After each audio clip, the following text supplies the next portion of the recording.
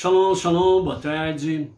Hoje nós estamos no dia 3 do mês de abril do ano de 2022. É o calendário secular gregoriano.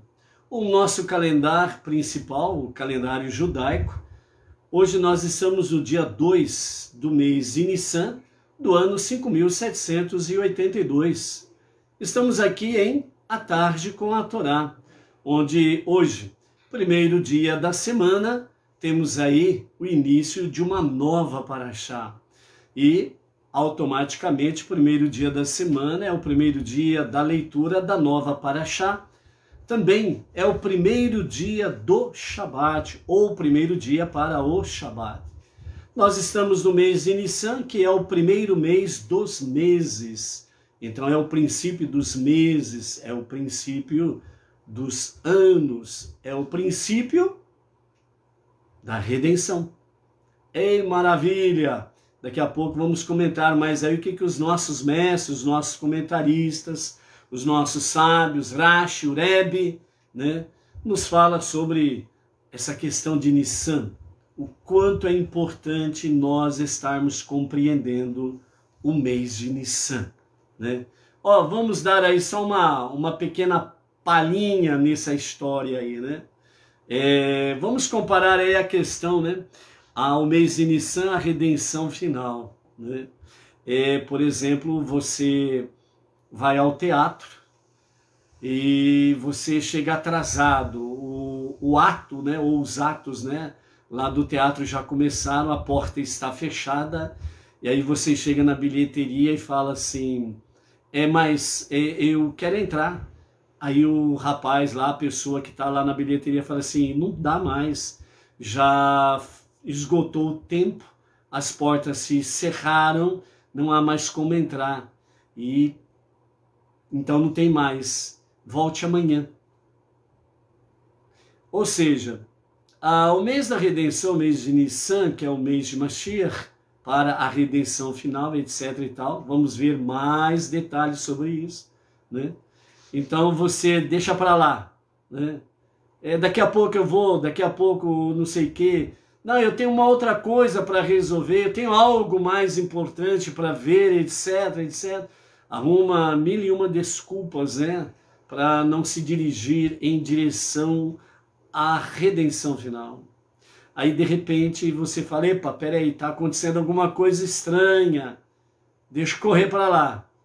Aí você chega, entre aspas, né? O bilheteiro diz: não tem mais como, a porta fechou. É, não tem mais como você entrar, você ficou de fora. Quem chegou em tempo está lá dentro. Entendeu? Ou seja, é, esse é um caminho que nós não podemos arrumar desculpas para deixar para depois. Todas as outras coisas você pode deixar para depois. O estudo da Torá, a leitura diária das porções dentro da Paraxá, são coisas importantíssimas, estão conectadas diretamente com a redenção final. Deixar para depois é correr o risco da porta se fechar e você ficar de fora. Entendeu? É isso daí. Então, nós estamos aí há 209 dias do transcorrido do ano 5782, que conta de Tishrei, o sétimo mês depois de Nissan.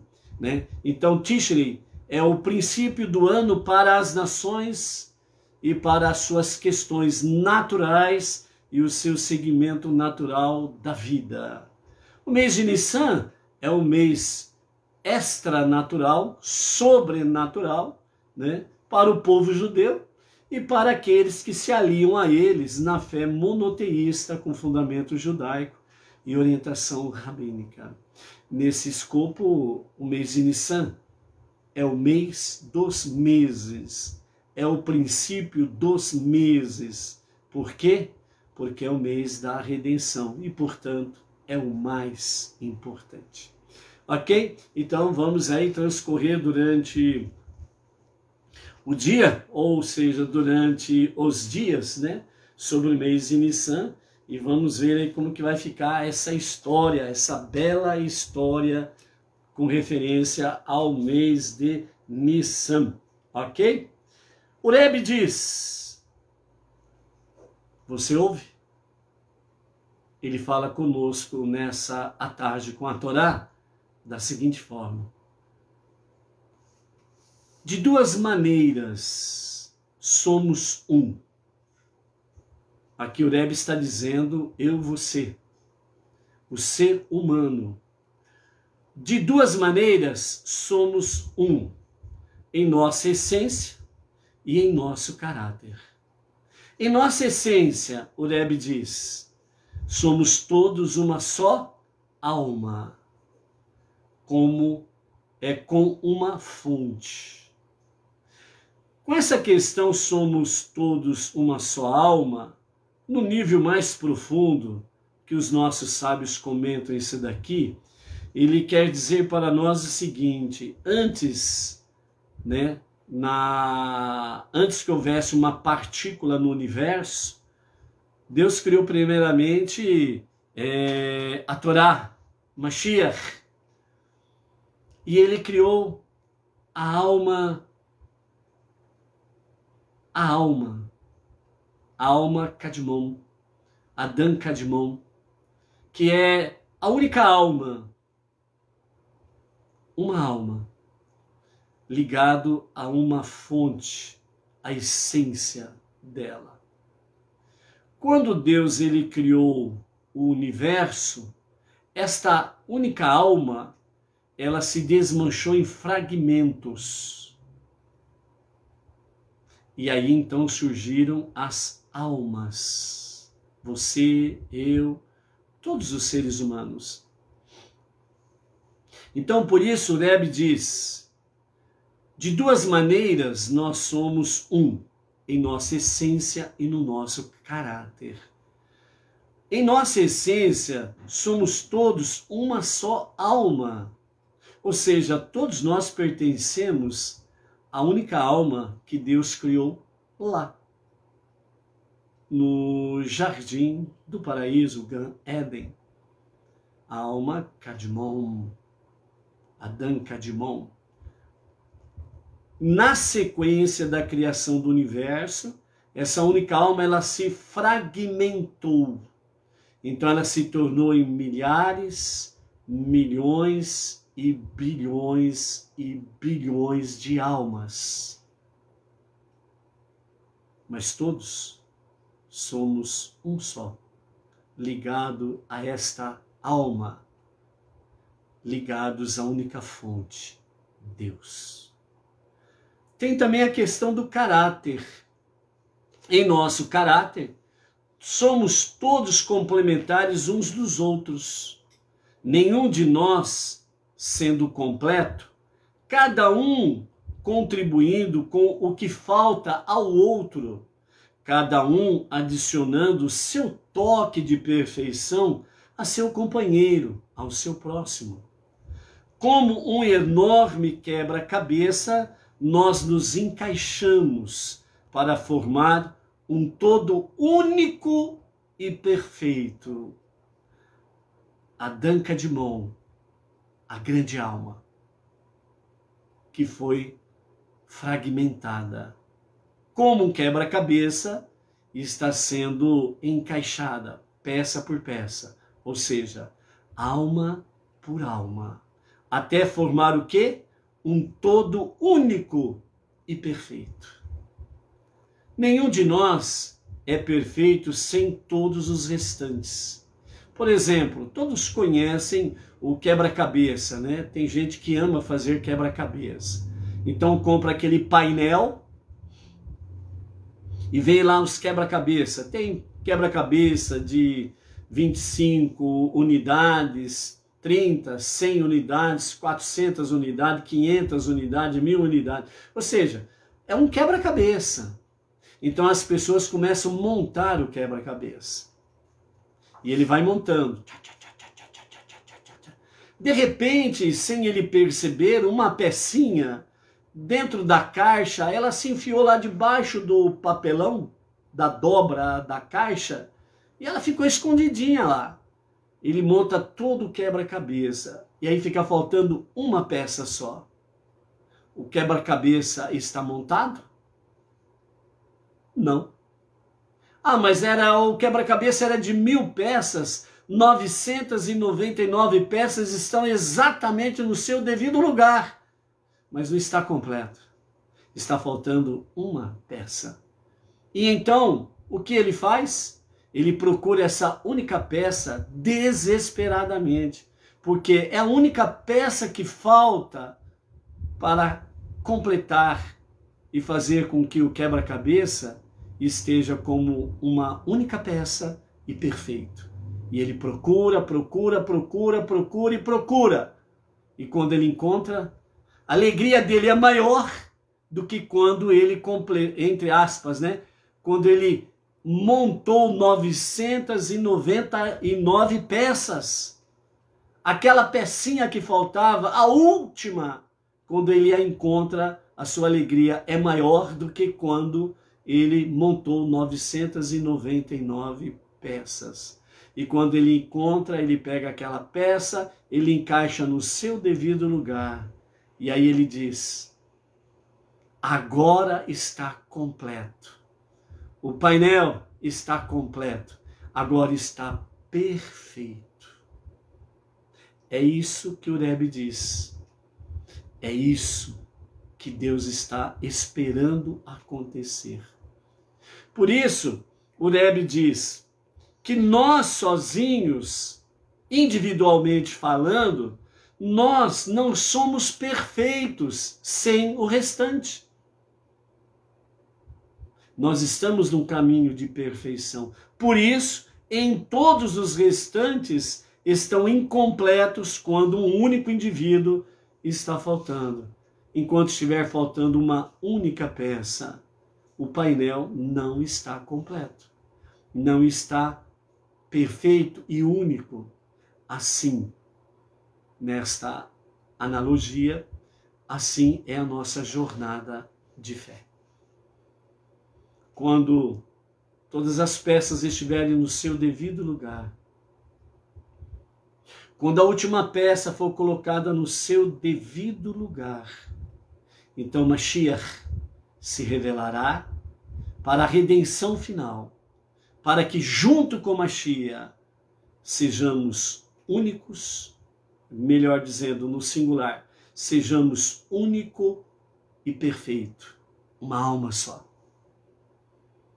sendo transformado e aperfeiçoado para aquele propósito divino, a nossa redenção final, para entrarmos no Lanrabá, o mundo vindouro, popularmente conhecido como a vida eterna.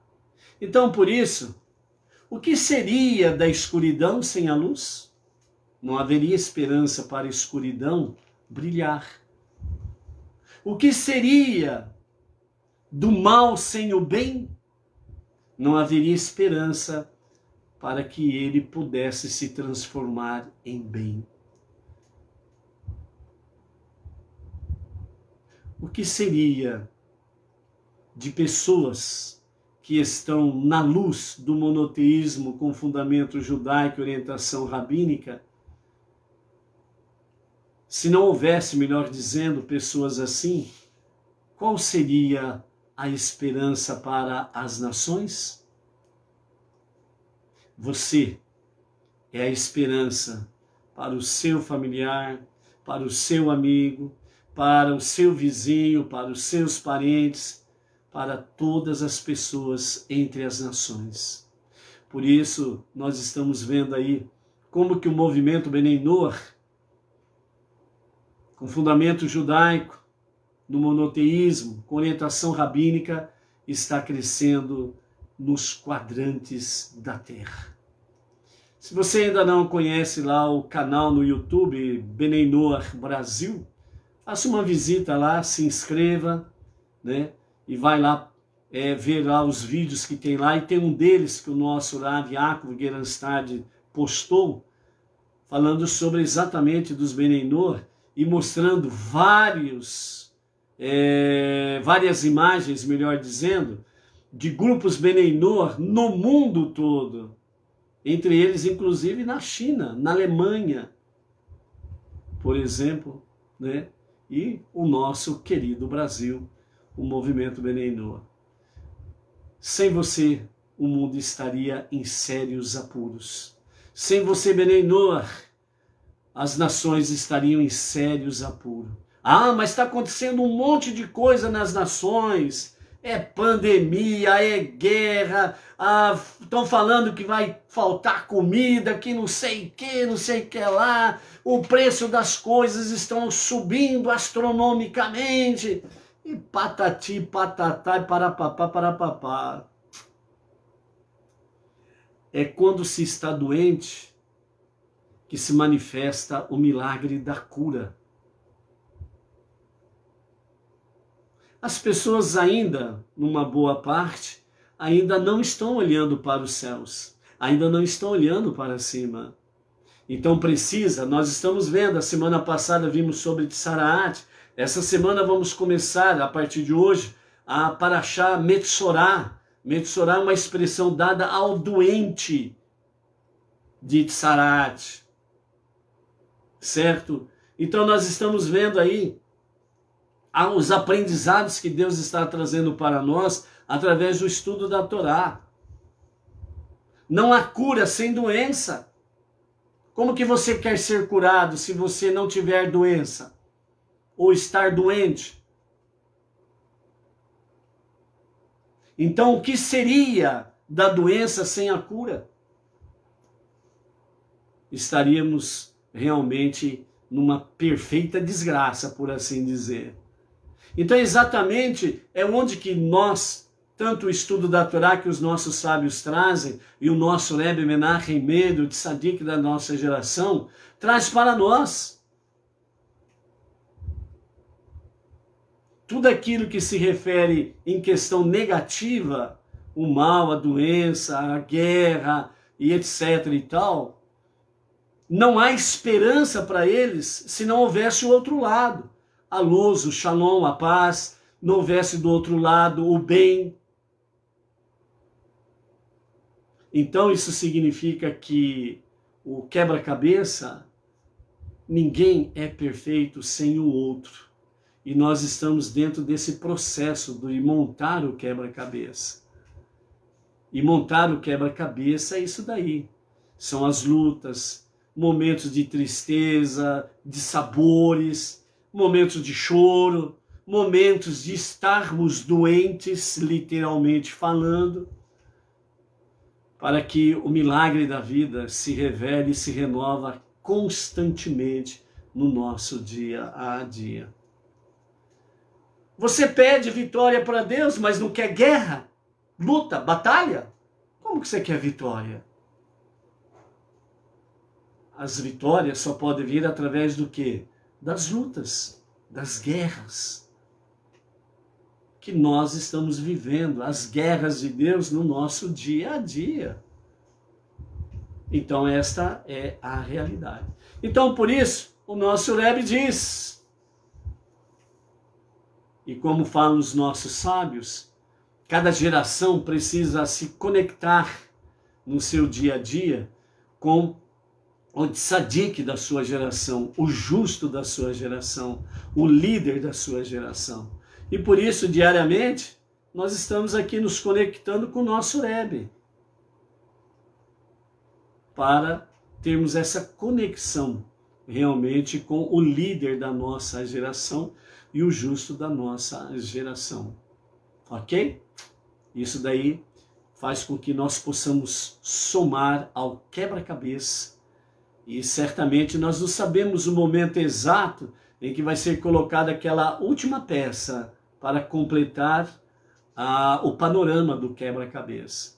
Mas uma coisa é certa, é Mashiach, ele poderá se revelar a qualquer momento mesmo, né? Então, por isso, vamos estar aí, como diz né, os nossos sábios, o nosso leve. É, o estudo da Torá é a nossa conexão diária com Deus, com a revelação do justo e o verdadeiro Mashiach. Amém?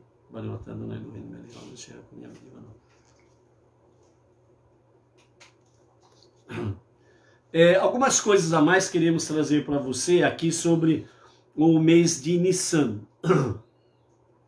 Para nós estarmos aí focando constantemente o mês da redenção, o mês de Mashiach. Certo? Nós não sabemos exatamente qual é o dia, mas uma característica que é nos dado para estarmos em alerta é o mês de Nissan. Então, nós queremos focar aqui nesses dias, né, antes de iniciarmos Nissan, focamos algumas coisas, entramos em Nissan, continuamos focando e vamos continuar focando sobre o mês de Nissan. Para você ver o quanto que é importante o mês de Nissan e que é realmente o mês de Nissan é o mês de Mashiach. E isso poderá, a revelação de Mashiach, poderá acontecer a qualquer momento. O primeiro mês dos meses será para vós o mês da redenção, o mês de Nissan. Então, nosso, os nossos mestres, eles nos falam que é, o Rosh Chodesh de Nissan, o cabeça do mês de Nissan, é de fato, ele possui uma grande, é, uma grandeza própria, né? porque ela está conectada diretamente com a questão de ser chamado de primeiro mês. O primeiro mês dos meses, certo? E por isso ele foi escolhido por Deus exatamente para a inauguração do Mexicano, né, o tabernáculo no deserto, onde a sua presença divina passou realmente a fazer morada no meio do povo de Israel, no meio do povo judeu. Foi nesse dia também que foram reveladas a Moisés né, oito porções ou oito partes da Torá, e nos tempos vindouros, nesse dia, se voltará a oferecer os sacrifícios no terceiro templo, que seja reconstruído em breve é a esperança viva nos nossos dias, conforme está escrito lá em Ezequiel capítulo 45, que nós demos uma pincelada no dia de ontem. Né? Então, o primeiro é, dia de Nissan é como o primeiro Rosh Chodesh de Nissan, do qual se derivou toda a bondade e bênção para todos os anos. Pois o Rosh Chodesh de Nissan, no qual o tabernáculo foi consagrado, né, ele caiu no primeiro dia do, do primeiro mês dos meses. E segundo os nossos sábios, no dia que foi inaugurado o Mexicano Deserto, além de ser o primeiro dia do primeiro mês dos meses, caiu exatamente também no primeiro dia da semana. Entre aspas, né, um domingo, ok? Então, o primeiro dia do primeiro mês dos meses, quando foi inaugurado o Mexicão Tabernáculo no deserto, ele também caiu no primeiro dia da semana. Então, os nossos sábios, eles falam que, devido tudo a isso, né, a, o primeiro dia de Nissan, ele é realmente de uma grandeza própria e também ele foi cingido com dez coroas.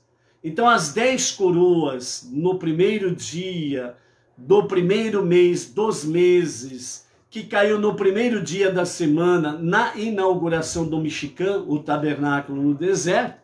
Então, as dez coroas são, primeiro, foi o primeiro dia da criação o primeiro dia da criação, mês de Nissan.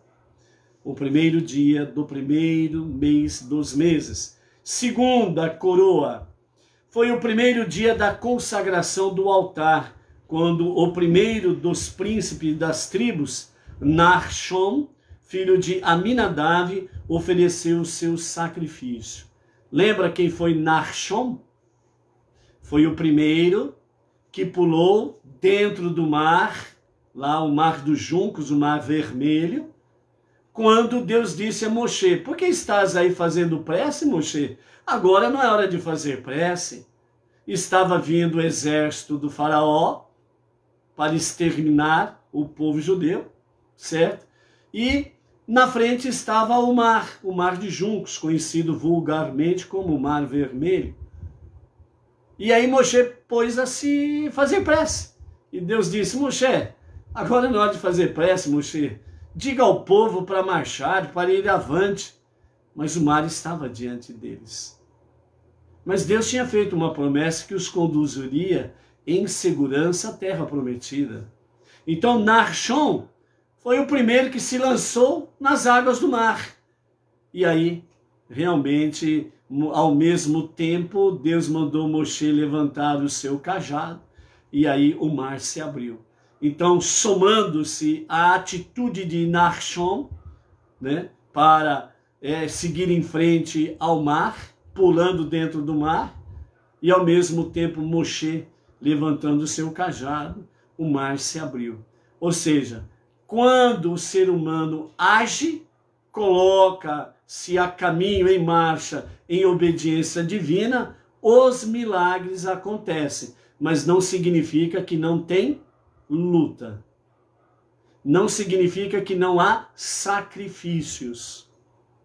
Porque Narshon, quando ele pulou nas águas, não foi no momento que ele pulou que o mar se abriu, não.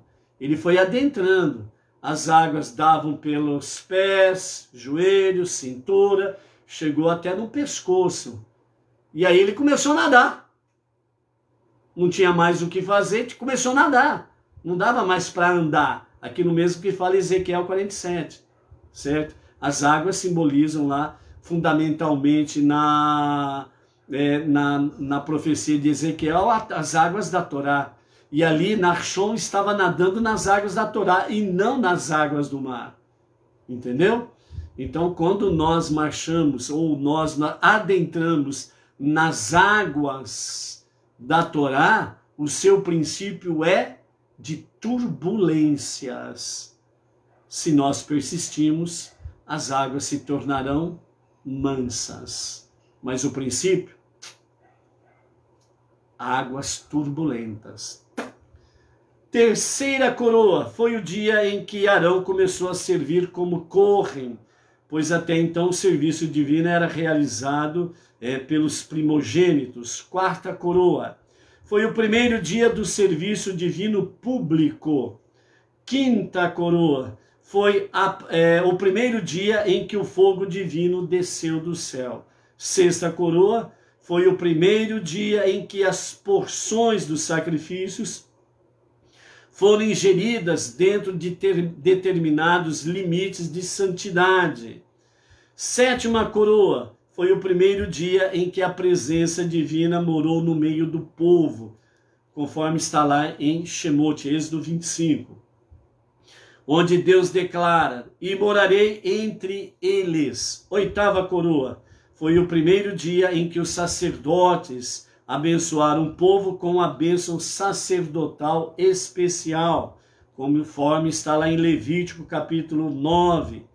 Nona coroa foi o primeiro dia em que o uso de altares particulares foram proibidos.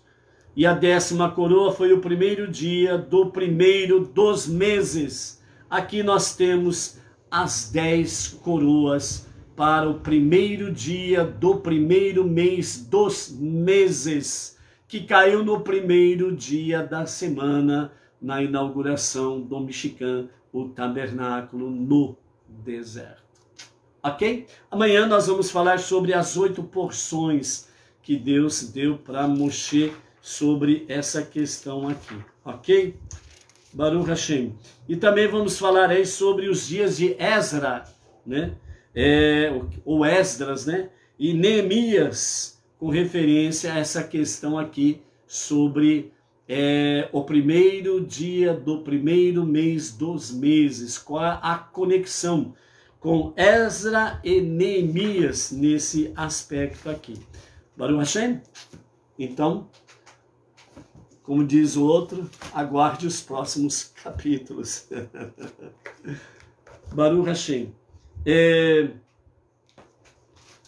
o nosso Shalom hoje né, vai para é, o grupo aí, Lechaim Israel, é, a Sara Judia Sefarade Mahana, a Rita de Cássia Torres, São Paulo, capital, a Ana Silveira Reis, Josias R. Cruz, de Olinda, e José Ribeiro Cândido, né? Esses fazem parte também do grupo Lechaim Israel.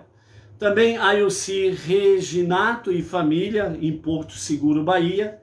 O, é, a Valdeci Oliveira, da cidade Colônia, lá na Alemanha. A Salomé de Lima, Recife, Pernambuco. Áurea Lisboa e Ivan e família, em Belém do Pará. O Silas Silva, Rio Branco, Acre.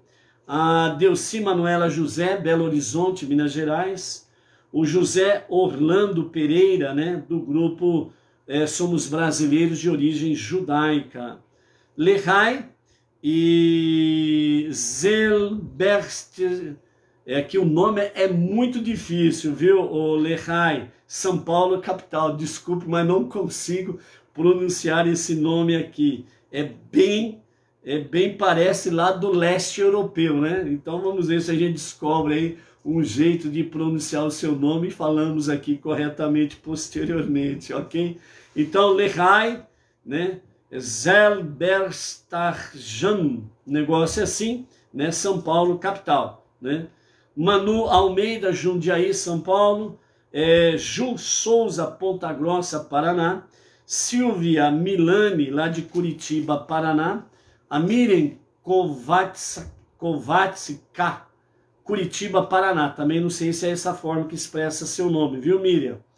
Lígia Saraiva, de São Borja, Rio Grande do Sul. Abel, Le, é, Abel Secon, de Chapecó, Santa Catarina. A Nayara Oliveira, lá do Rio de Janeiro. Temos aí também a Luciana Rodrigues, Marília, aqui é a nossa região. A Inês Martins aqui de Pirajuí, a Carla de Costa, Barra Velha, Santa Catarina, o José Hélio Tavares, Cachoeira Paulista, interior de São Paulo, o Luiz Ribeiro, Itaquera, Grande São Paulo, Baru Hashem, mais alguém por aí, a Miriam Barros, lá de Brasília, Baru Hashem, né?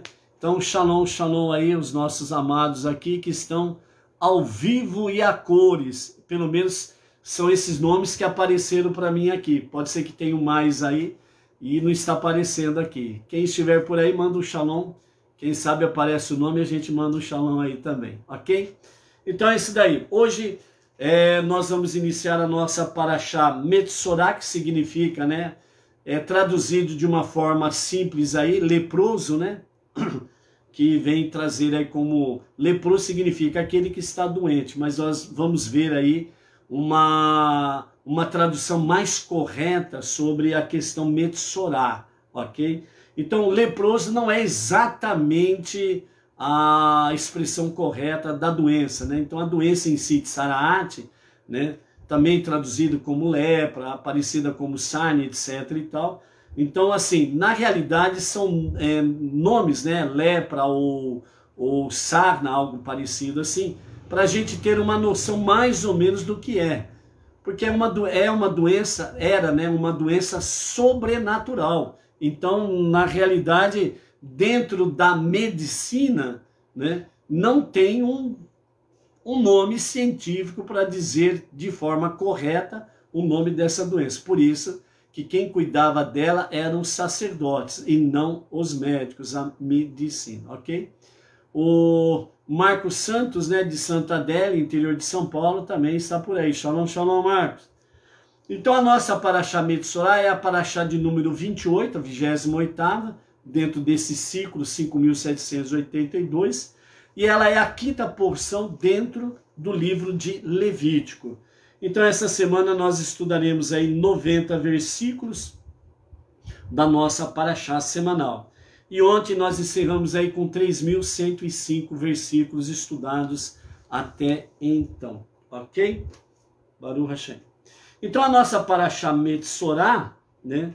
Ela descreve, né? A nossa Paraxá anterior, Tazria, ela descreve o aparecimento e a identificação da doença, entre aspas, né, sobrenatural de Tsaraat.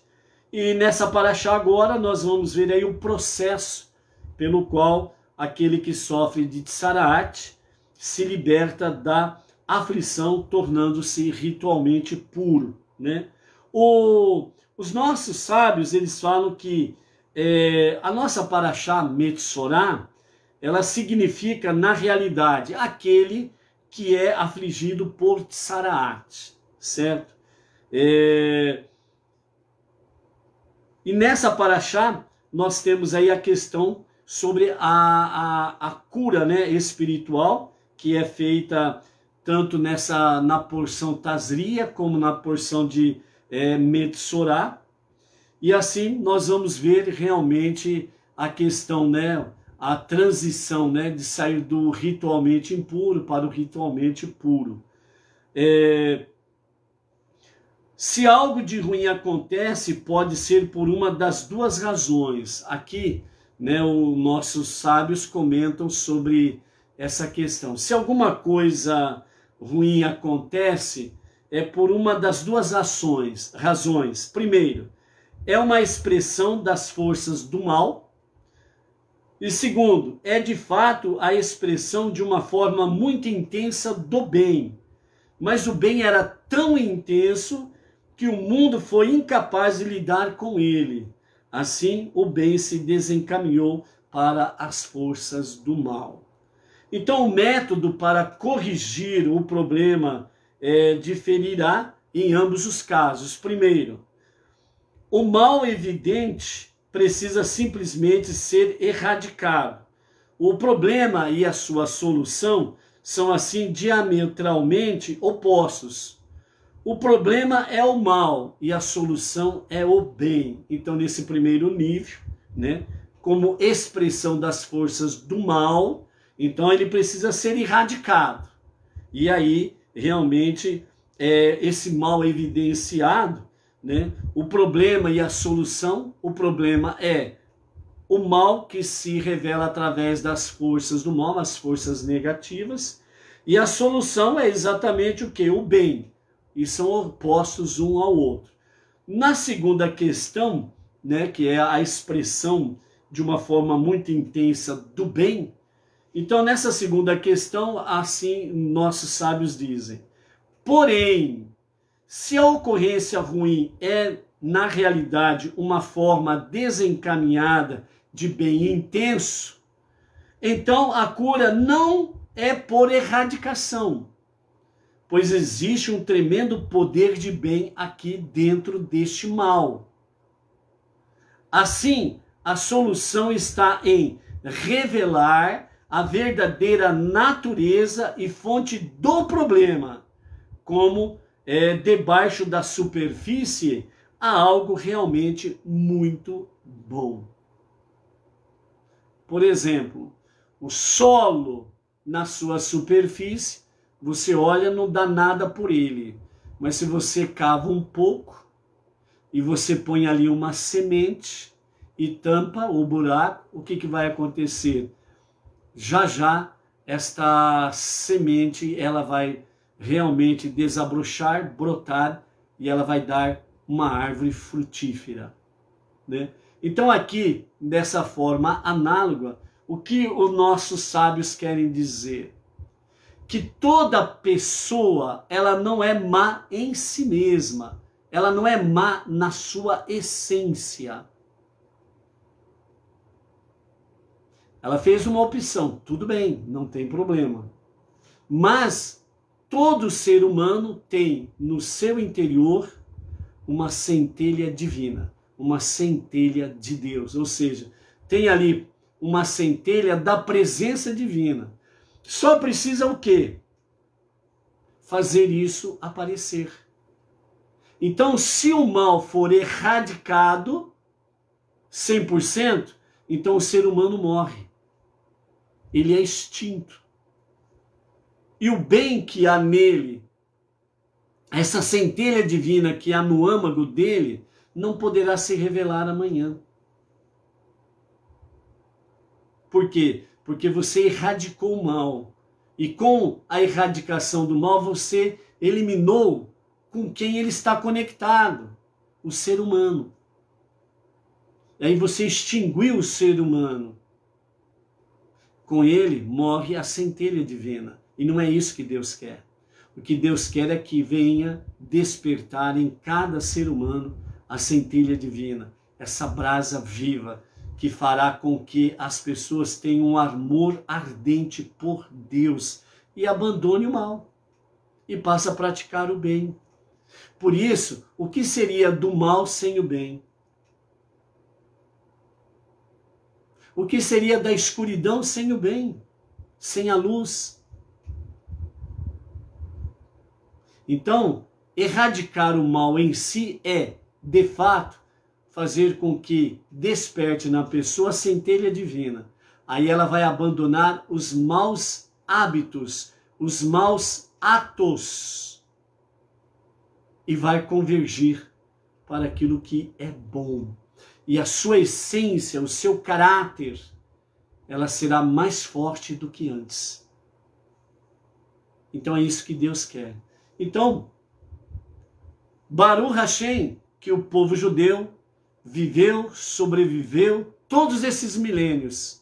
E por isso, a luz para o mundo não se apagou. A esperança para as nações não morreu. O mal não venceu o bem continuou vencendo até aqui e continuará vencendo para todo o sempre. Amém, vem amém.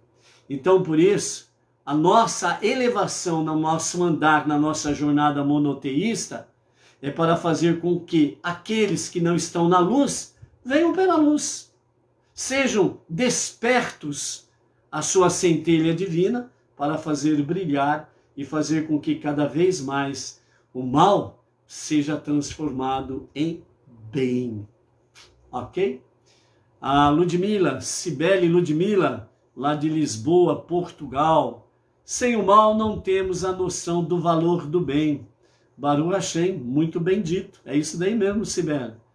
Sem o mal não temos a, a noção do valor do bem. Né? É a mesma questão, né? É, o povo judeu deu valor à liberdade porque soube que é escravidão. Quem conheceu a escravidão e foi liberto, sabe o valor que dá. E dentro desse mesmo aspecto, né, aquele que foi, entre aspas, escravos né, de uma vã fé ou de uma fé enganosa, e a partir do momento que tem a sua libertação para o verdadeiro monoteísmo com fundamento judaico e orientação rabínica, sabe verdadeiramente qual é o valor da sua liberdade espiritual. Né? Então isso é magnífico. Né?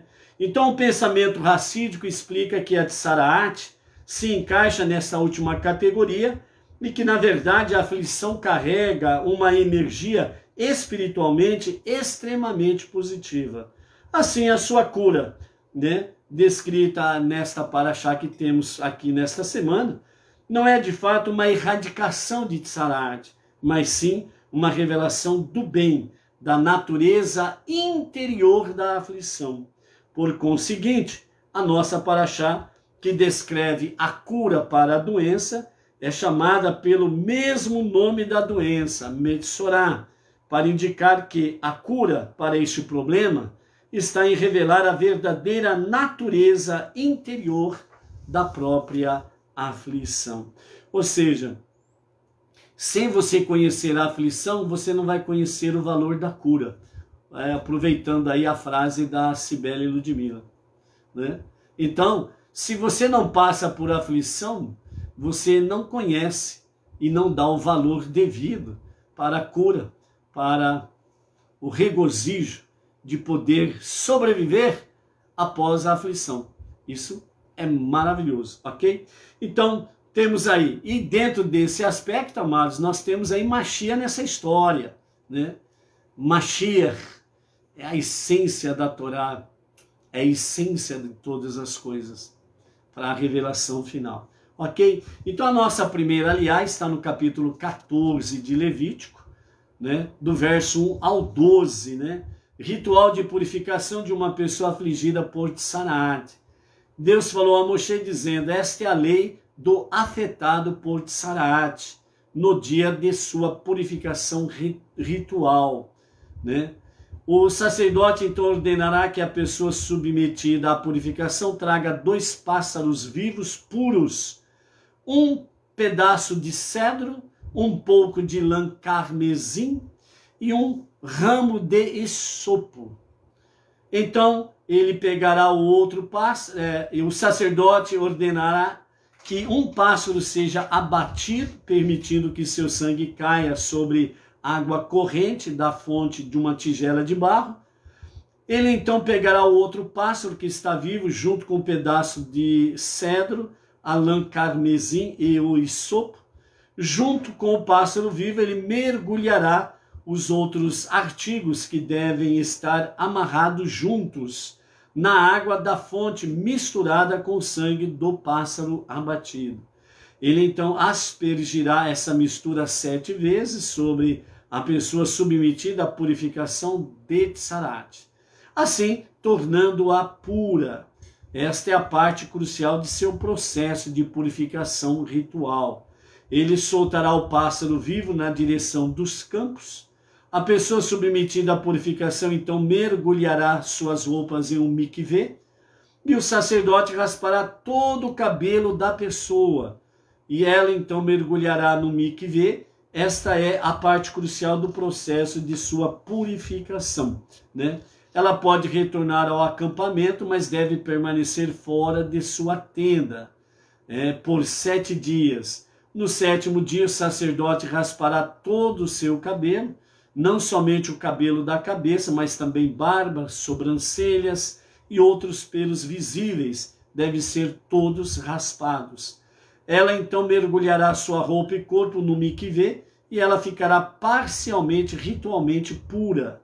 No oitavo dia, ela pegará dois cordeiros perfeitos sem defeito para uma oferenda de pecado e uma oferenda queimada uma ovelha perfeita de um ano sem defeito para uma oferenda de pecado, três décimos de um efá de farinha fina de trigo misturada com azeite de oliva, como oblação e um log de óleo de oliveira. O sacerdote que cuida do processo de purificação posicionará todos esses itens e a pessoa submetida à purificação diante de Deus à entrada da tenda da reunião. Então o sacerdote pegará o, o cordeiro macho o apresentará para uma oferenda de culpa junto com um log de óleo. Ele os agitará na maneira prescrita para uma oferenda agitada diante de Deus. E aqui nós temos então é, a nossa primeira leitura. Então, é, qual a conexão, qual é a ligação? É, dois pássaros vivos puros, um pedaço de cedro, um pouco de lã carmesim e um ramo de isopo. Rashi diz assim: os pássaros vivos significa que não são trefá. Eles não podem ter um defeito ou ferimento, que é isso que significa trefá, que os desqualifique. Pássaros puros exclui automaticamente as espécies não kasher. Isso é porque as lesões de Tsarat aparecem como resultado de maledicência, que é feita por meio de tagarelice. Então a pessoa precisa trazer pássaros que gorjeiam constantemente, emitindo sons para sua purificação ritual, né? Então assim como os pássaros, né, fica aí cantando direto e reto, então é, para que a pessoa né, que cometeu o pecado do Lachon Hará, né, ele esteja ciente da sua tagarelice. É, sobre o cedro, o Rashi diz ainda, porque as lesões de Sarate vêm por causa da arrogância simbolizada pelo alto cedro, né? Porque o cedro é uma árvore que fica ereta, em pé, e ela é muito forte, né? Então, ela simboliza exatamente a arrogância. Sobre a lã, carmesim e sopo, né? É, Rashi também diz: qual é o remédio que cura a tsarat? A pessoa deve abandonar a sua arrogância e tornar-se mais humilde. Com, é, como o verme usado para fazer usado para fazer a tintura de carmesim. E a planta de isopo que não cresce alto, ela é rastejante, né? A planta de isopo. Isso está conectado exatamente com a questão da humildade, né? E aqui torne-se mais humilde como verme usado para fazer a tintura carmesim, né? Então esse, essa tintura de carmesim que é usada por esse verme, né? É um minúsculo, minúsculo, minúsculo besourinho, né? Que ele é esmagado e dele, ao ser esmagado, sai essa tintura avermelhada, né? Então, quer dizer, a, a dimensão do verme que é usado aqui para a, a lã de carmesim, para a tintura do, da lã de carmesim, é um verme muito insignificante, muito minúsculo, né? Então está falando aí sobre a questão de humildade, bem como também a planta de isopo, que é uma vegetação mais rasteira, ela não é não fica, não é cresce, ela não, não é alta, ela é mais rasteira o isopo. Tudo mostrando que humildade, simplicidade, ok? É, então, os dois termos adicionais da Torá aqui usado, né? Questão dos elementos dos pássaros vivo e puro. Então, os nossos mestres é, dizem que dois aspectos de maledicência que trouxe de Saraat sobre uma pessoa. Primeiro, o conteúdo da maledicência Maledicência é fala impura que difama outra pessoa. Então, para remover a tsaraat, uma espécie, é, uma espécie cura, kasher, significa ali exatamente os pássaros, né? Vivos e puros.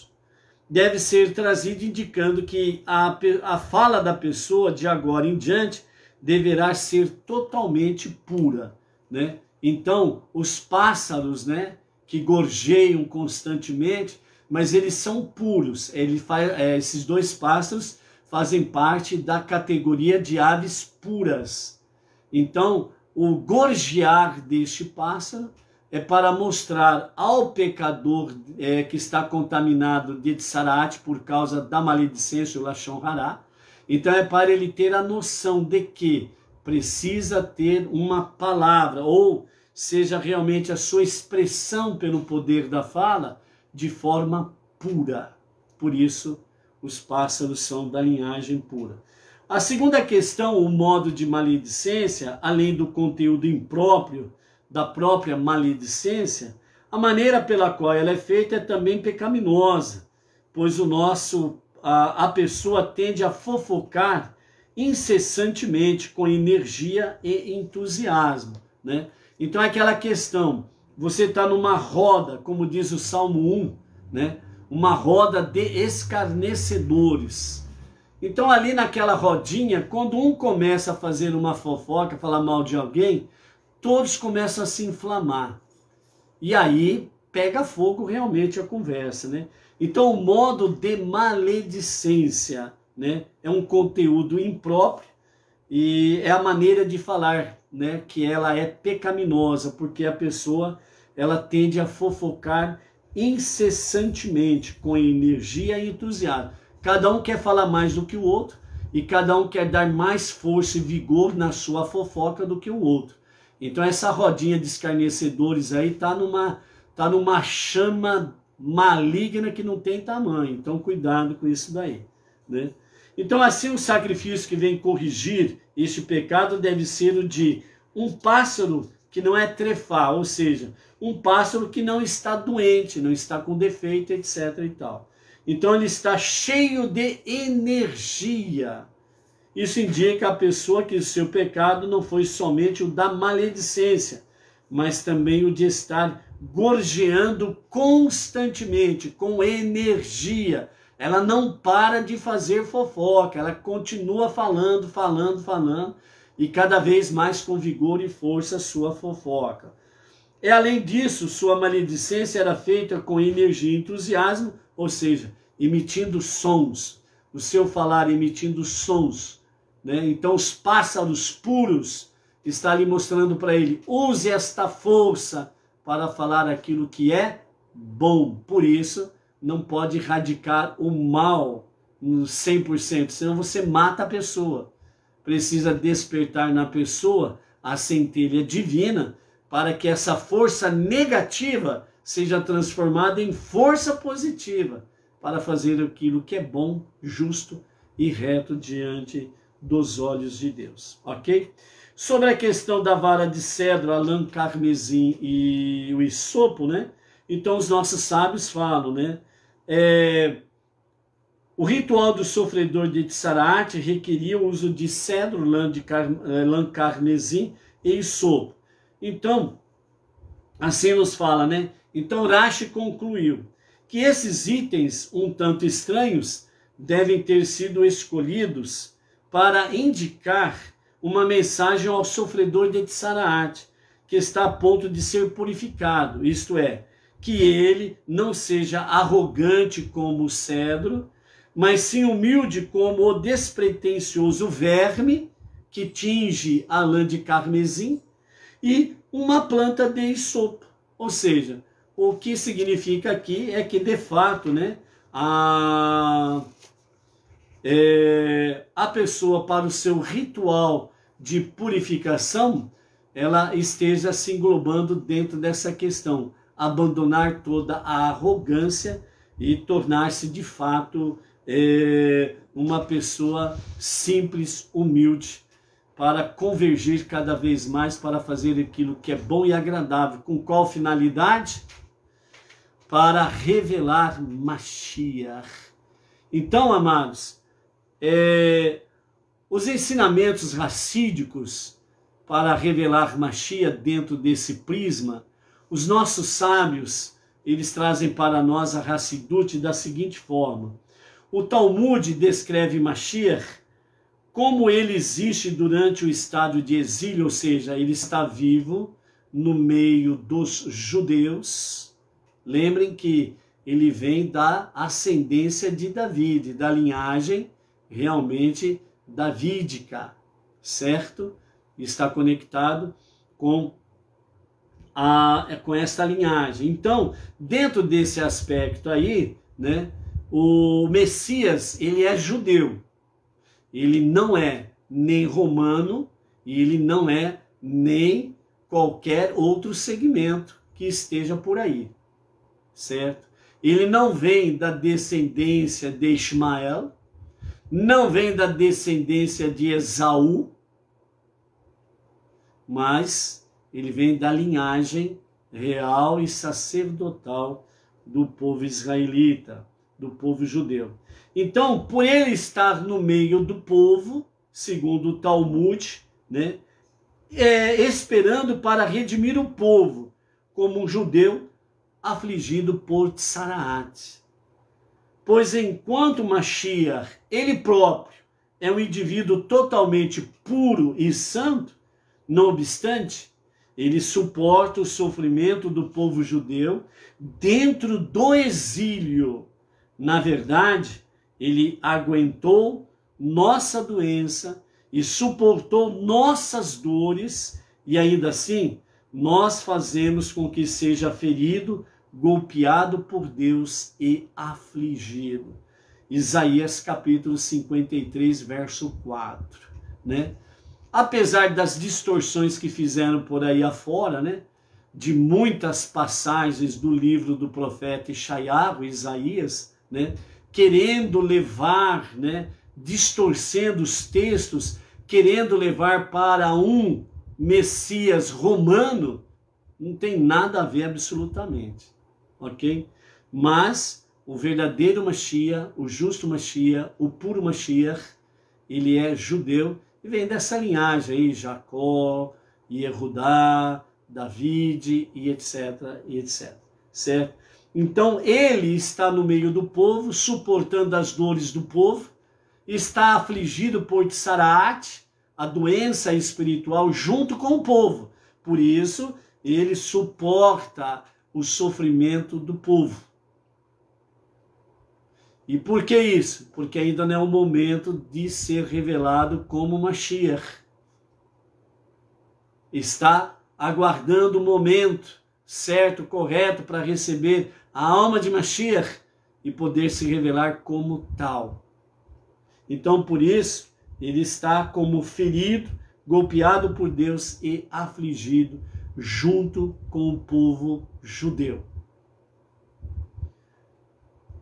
A purificação ritual do sofredor de Tsaraat, que nós lemos na Paraxá, alude à redenção final e verdadeira quando Mashiach tirará o povo judeu do exílio. Quando acontecerá a cura completa do povo judeu de Tsaraat? Quando acontecerá a própria cura completa de Mashiach de Tsaraat? Quando ele está, quando ele estiver redimindo os judeus de entre as nações para retornarem 100% para a terra de Israel. Então aí haverá a cura completa do povo judeu. Mashiach trazendo essa cura completa para o povo judeu. Depois que ele completar essa fase, aí ele vai para outra fase, levar a cura para as nações. Primeiro, vai arrumar a casa. Entendeu? É assim. Então, disto nós podemos aprender, diz os nossos sábios na, nos ensinamentos racídicos. Mashiach não é uma pessoa que chegará espontaneamente com a redenção. Ao contrário, ele se encontra no exílio junto com o povo judeu e os ajuda a suportar suas dificuldades e tristezas. Ou seja, é um rabino muito inteligente, tem resposta para tudo, etc e tal. Ele faz com que através dos seus ensinamentos, do seu exemplo, etc, etc, realmente é, se torne mais suave as aflições do povo dentro do exílio entre as nações, certo? É, dessa forma, a nossa paraxá anterior Tazria contém as leis sobre a aflição de Tsaraat, em uma alusão ao exílio. Isso, a, a aflição de Tsaraat, ela é comparada ao exílio. Então vamos dizer, para compreendermos melhor isso, todo judeu hoje, fora da terra de Israel, está com Tsaraat, por assim dizer, ok? Porque está fora da terra de Israel está entre as nações, está no exílio, está na grande diáspora, então estão, precis... estão sofrendo as aflições de Tsaraat, que é o que? As aflições do exílio, ok? Por outro lado, a Parashá Sorá, que estamos iniciando hoje, é, contém as leis de purificação ritual de Tsaraat, é, aludindo o que? A redenção. Então a nossa Parashá desta semana, Metsorá, ela está trazendo exatamente esta alusão, está trazendo esse significado, que é exatamente o que? A cura de Tsarat. Quando o povo judeu for curado da sua Tsarat, na sequência as nações serão curadas da sua Tsarat. Tsarat entre aspas, entendeu? Ou seja, tudo aquilo que é negativo as nações serão curadas, mas primeiramente o povo judeu será curado das suas aflições de Tsaraat. O fato dessas duas porções, Tazria e Metsorá, normalmente elas são lidas juntas na mesma semana, certo? Trazendo para nós o ensinamento que nós não devemos encarar o exílio e a redenção como eventos separados e sequenciais. Cada mitzvah que nós observamos no exílio deve ser infundida ativamente com o conhecimento de que é um ato que acelera a redenção. Ou seja, o que os mestres da Hassidut quer trazer para nós é que Tazria e Metsorá, ou seja, as leis da contaminação de Tsarat E as leis da purificação em Metsorá, desta semana, elas sempre estão juntas. Elas sempre estão em conexão e não separadas. Uma agora e outra depois. Então, os nossos mestres da Hassidut, eles dizem, elas estão juntas acontecendo ao mesmo tempo. Então, nesta, nesta questão, para entendermos um pouco melhor, fazemos a seguinte alusão. Desde 14 de maio de 1948, muitos judeus entre as nações saíram do meio das nações e foram para a terra de Israel. Ou seja, saíram da sua, a, da sua ação de Tsaraat, contaminação, e foram para a terra de Israel, a terra da redenção para eles, e nesse sentido, Metsorá. Então eles começaram um processo ao mesmo tempo de purificação. O efeito disso para as nações. Qual é o efeito disso para as nações? Nós estamos vendo que desde 14 de maio de 1948, as nações, entre as nações, entre os povos, cada vez mais a partir de 14 de maio de 1948, nós estamos vendo um grande despertar das nações sobre a questão judaica. Quando o Rebbe Menachem Mendel assume a liderança do movimento racídico, Rabad, a partir de 1950 até 1994, quando aconteceu o seu ocultamento, né? O que, que aconteceu? Esse renascer das nações, primeiramente dos judeus, que aí o volume de retorno para a terra de Israel foi muito maior e está sendo gradativamente. Então as, os judeus estão saindo de entre as nações, ou seja, estão saindo do nível de Tsaraat, ou seja, a doença do exílio, estão indo para a terra de Israel, Metsorá, ou seja, a terra da redenção, para a redenção com Mashiach então estão sendo curados, ainda não foram, ok? Ao mesmo tempo, os fatos acontecendo assim para o judeu, ao mesmo tempo também acontecendo para os povos, para as nações. Onde nas nações, no meio das nações, os não-judeus estão se libertando do seu tsaraat, aquilo que eles herdaram como mentira, engano da parte dos seus pais antigamente, com vários tipos de segmentos religiosos, estão se despertando, renascendo para a questão do monoteísmo judaico, o Deus dos cinco primeiros livros da Bíblia, o Deus de Israel, o Deus dos judeus.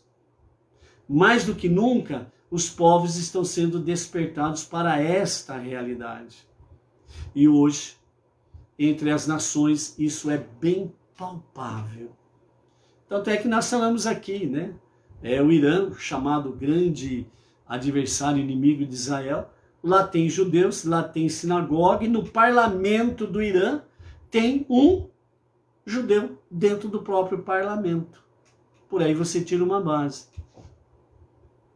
Então, quando, por exemplo, o Irã ver o seu único parlamentar judeu e os poucos judeus que ainda estão no Irã caindo fora, põe a barba de molho, que o bicho vai pegar. A mesma coisa para as nações. Hora que verem os judeus saindo, indo embora para Israel, Jerusalém, os, pode ouvir os passos de Mashiach. Está aí.